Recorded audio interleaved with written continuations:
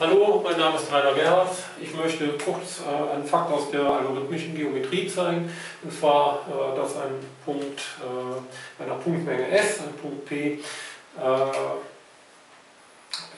der, auf einer un, der eine unbeschränkte Voronoi-Region hat, äh, genau in diesem Fall auf dem Rand der konvexen Hülle der Punktmenge auch liegt.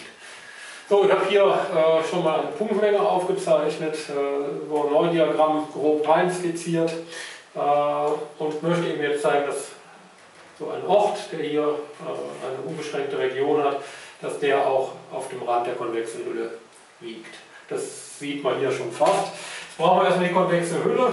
Dann holen wir uns mal kurz äh, die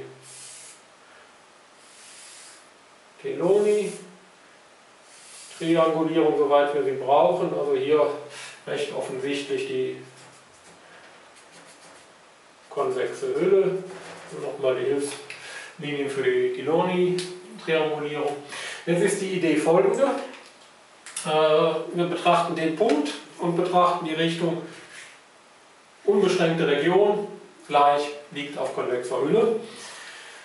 Äh, da wir eine unbeschränkte Region haben, oder machen wir es anders, wir betrachten jetzt einfach die andere Farbe, einen Strahl oder alle Strahlen, die von diesem Punkt abgehen. Da gibt es Strahlen, die treffen, äh, entweder hier gerichtet sind, äh, den Rand der Voronoi-Region. Es gibt aber auch Strahlen, die treffen keinen Rand. So, und die können auch keinen Rand treffen, denn wenn sie einen Rand Punkt treffen würden, äh, des Voronoi-Diagramms, dann wäre ja äh, entweder die Region nicht unbeschränkt, was ja aber laut Voraussetzung ist, äh, oder sie wäre nicht konvex, was aber auch nicht sein kann, weil die Voronoi-Regionen konvex sind. Also gibt es auf jeden Fall einen solchen Strahl, der hier abgeht äh, und die nie wieder einen Rand trifft, da wir die konvexe, äh, da, da wir eine unbeschränkte Region haben. Auf dem Strahl gehen wir jetzt hin und ermitteln, nehmen uns irgendeinen beliebigen Punkt x. Den zeichnen wir hier mal ein. Äh, und schlagen dann um einen Kreis mit Mittelpunkt x in der Entfernung genau zu unserem Punkt P, den wir hier gewählt haben, sodass eben P auf dem Umkreis liegt. Das wird jetzt nichts mit dem Kreis, ja, das war schon klar. Äh, dann sagt uns aber äh, ein Lemma, dass eben, wenn wir einen Kreis wachsen lassen um x heraus, dass er genau dann in der Voronoi-Region äh, von unserem Punkt P liegt, wenn eben kein anderer Punkt in diesem Kreis äh, enthalten ist. Und das muss ja sein, weil wir letztlich ja in der Voronoi-Region sind. So, und jetzt können wir den Kreis im Prinzip immer weiter wachsen lassen, indem wir den Mittelpunkt immer weiter nach draußen verschieben. Hier mal einen x'. Dann haben wir schon einen Kreis, der geht so herum.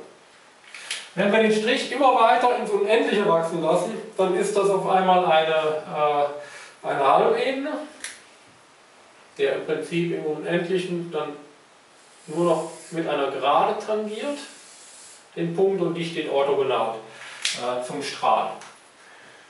Und wir wissen, dass kein anderer Punkt äh, das erreichen kann. Damit wissen wir aber auch, dass auf dieser Seite der Halbebene, die von der äh, äh, Geraden gebildet wird, dass auf dieser Seite der Halbebene kein Punkt mehr liegt, äh, der in S ist. Und folglich müssen da die Ebene durch der Gerade geteilt wird, müssen alle anderen Punkte auf der anderen Seite liegen. Damit ist das aber eine Stützgerade äh, der konvexen Hülle äh, und damit ist dann in der Tat äh, der Punkt P auf der konvexen Hülle. Das war die eine Richtung. So, jetzt kann man auch andersrum argumentieren. Jetzt kann man sagen, oder was heißt kann, man muss, man muss.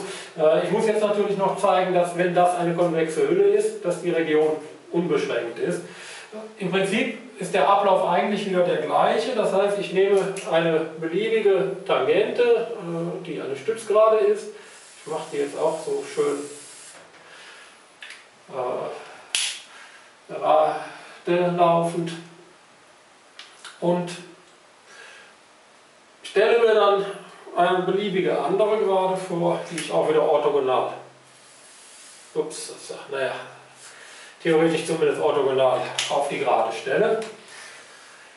Äh, und jetzt kann ich aber wieder argumentieren, dass wenn ich hier wieder meine Kreise einzeichne und entsprechende Radi äh, einfüge,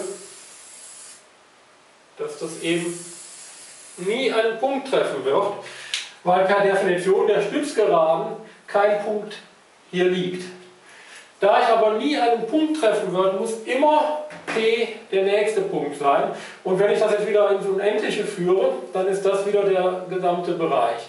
Äh, folglich muss das hier, da ich nie in dieser gesamten Gerade einen anderen, äh, in diesem gesamten Halbebene einen anderen Punkt finde, folglich muss das dann auch eine unbeschränkte Voronoi-Region sein.